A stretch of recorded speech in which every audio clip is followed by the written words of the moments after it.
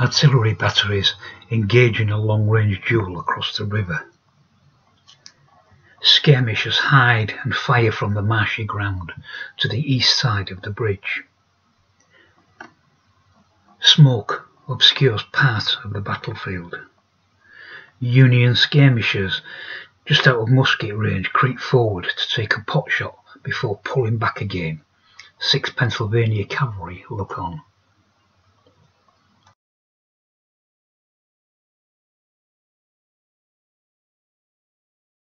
Looking east toward the bridge along the rebel defensive lines. Confederate skirmishers in the marshy ground watch the advance of the enemy infantry. General Slocum observes the action from the bluff. Looking north across the bridge towards the Murray farm. Brigadier John Newton leads his three infantry regiments towards the action. Looking west beyond the East Road and the Murray farm. A high-level view of the contested bridge area. Major Allen Davies marveled at the skill of the captain and crew of the cutter Speedy. After a fast passage from Wickham to Easington, the whole eight mile voyage taken under an hour, the cutter certainly lived up to its name.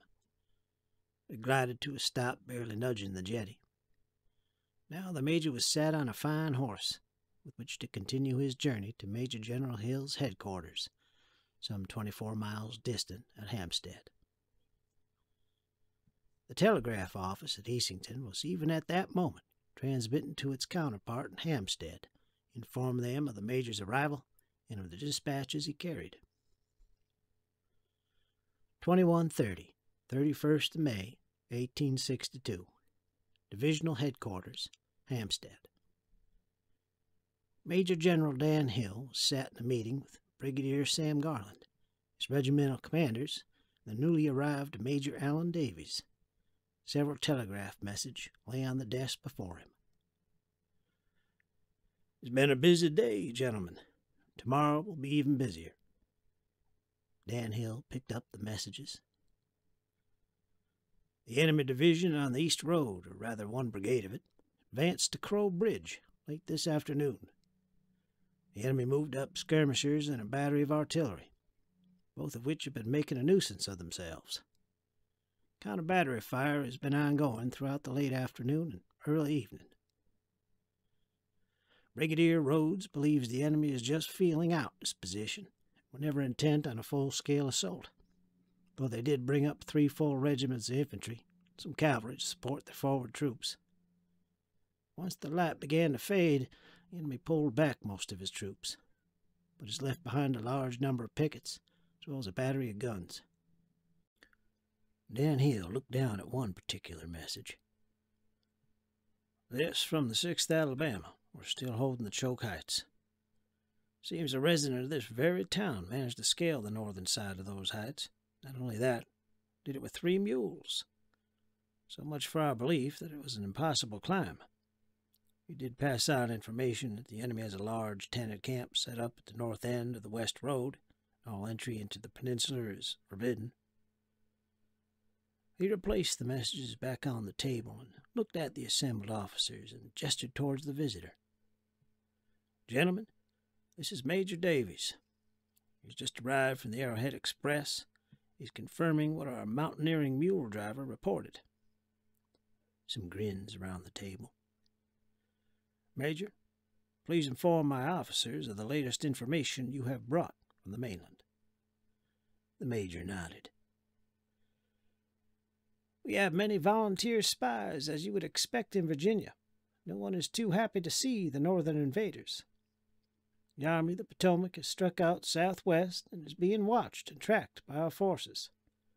The exact destination of the enemy is as yet unknown, but our forces are moving to intercept. The Major took a sip of coffee before continuing. The Union Sixth Corps, under command of Brigadier General William Franklin, has been tasked with taking this peninsula. Currently, 1st Division, commanded by Brigadier General Henry Slocum, minus 2nd Brigade, is the enemy force at Crow Bridge. This is very detailed information, Major, said Sam Garland, raising his eyebrows. Major Davies nodded and smiled. The enemy have loose lips, and we have many ears prepared to listen, sir. He has more in store yet, Sam. Dan Hill nodded for the major to continue. The 2nd Division, with attached 2nd Brigade, will begin to move down the West Road at 0600 on the 2nd of June. They intend to sweep south with the goal of taking Hampstead and Port St. Charles. They believe most, if not all, your forces will be over on the East Road, engaged with their 1st Division. I provided General Hill with an accurate, as nearly accurate as possible, listing of all the enemy units involved. Dan picked up the sheet of paper turning it to face the gathered officers. It's very impressive, if somewhat depressing list. We guessed correctly what they were up to, Sam. Now we have the makeup of their forces, commanders, and even the start time. We also have a little over 30 hours to meet that threat. The telegraph office at the headquarters will be very busy that night. Very busy indeed. Zero to 45 hours. June 1st, 1862, Choke Heights. Major Gustus gathered up the final sentries covering the eastern side of Choke Heights. A couple of slouch hats and a tree branch that could pass for a musket barrel left in strategic positions among the rocks at the summit. They would be visible against the skyline at dawn for an enemy picket looking up. A lot of 6 Alabama's non-combat equipment was to be left in situ alongside the campfires that still burned, too risky and potentially noisy to attempt to move in the darkness. The men moved slowly and silently in single file to the western edge of the summit. Major Gustus had a final look back and was satisfied. It would likely be three hours or more before the enemy discovered they had gone. Exactly one hour later in the small town of Stockton, Major Phelan was rising from his bed to organise the move of his battery. The officers and men of Carter's battery had been told to grab a good night's sleep as they intended to move out at 0530 sharp. They would breakfast, limber up the teams and be out on the road at first light.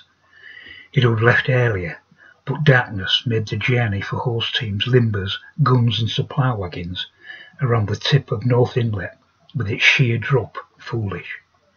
He would be of little use to the rest of the brigade if all his guns ended up smashed at the foot of the cliffs. He would be at Crow Bridge by 0730. He hoped that would be soon enough.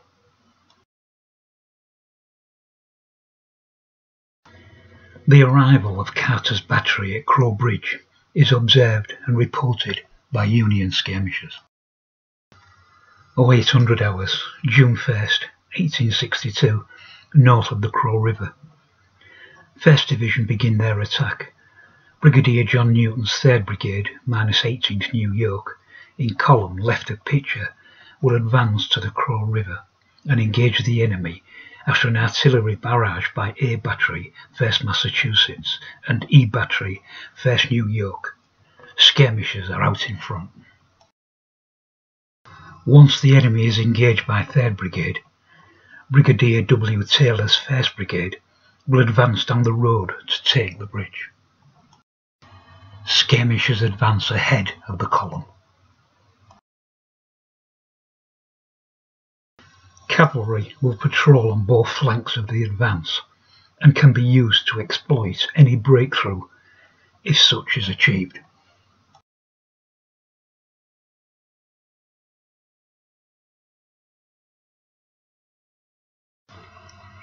a formidable attack force.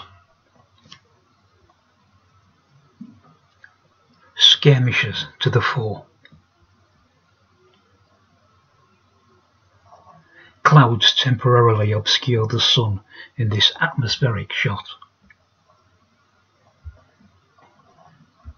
Union brigades passing either side of the Murray Farm.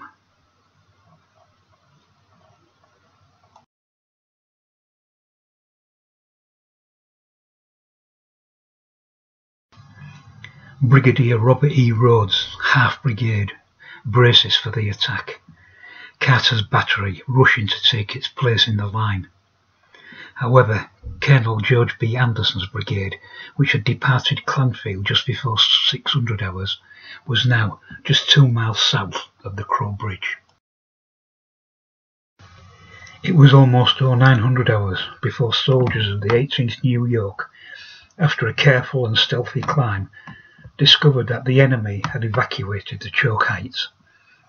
Even from the top, they could see no sign of the former occupants. This was because the 6th Alabama, along with the Flying Cavalry Brigade, were already south of Peytonville and had linked up with 12th Alabama at the junction of West Road and Stockton Road.